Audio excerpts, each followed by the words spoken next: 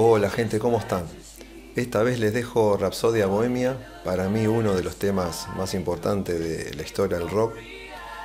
Buscando en las redes encontré a una pianista ucraniana, se llama Vika Goswill, y la vamos a hacer en versión de dos pianos.